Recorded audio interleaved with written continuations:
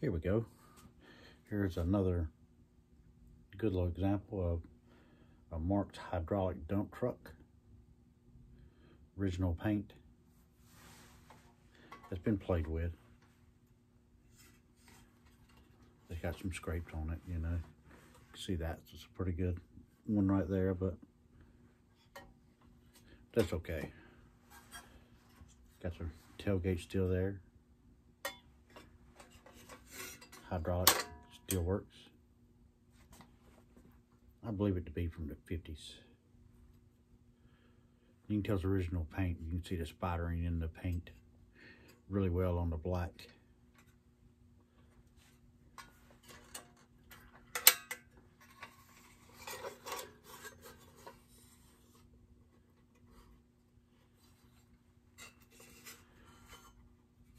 And as always, I hope you enjoy. Thanks.